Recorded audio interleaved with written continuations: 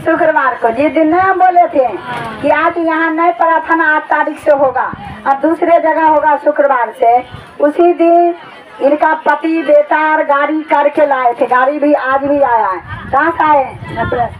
छपरा से आई थी, फ़र्स्ट बार। और इनको गाड़ी में उठाकर इनका पति बेटा बैठाए थे। और ये इतना लटपटाई थी गाड़ी में प्रार्थना सभा खत्म करके उसके बाद इस बेचारी के लिए हम प्रार्थना करने के लिए गए। तो मुँह से लोर पोटा घोट पटा गिरता था।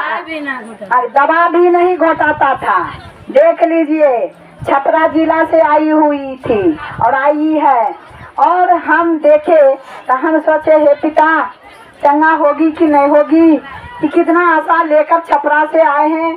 किराया भाड़ा करके चार चक्का से। फिर भी मेरा विश्वास था कि मैं यीशु के नाम से मैं प्रार्थना करी हुई और चंगा हो जाएगी और मैं गली में जाकर प्रार्थना किया इनका लोर पोता बोले, कुछ होश नहीं था। और मैं गली में जाकर प्रार्थना किए।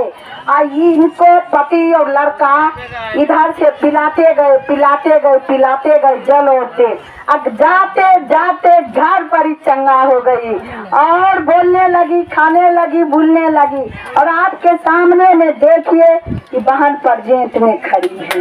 बोलिए पिता परमेश्वर के जाए। महान पिता का जोरदार ताली से स्वागत करें। आप किए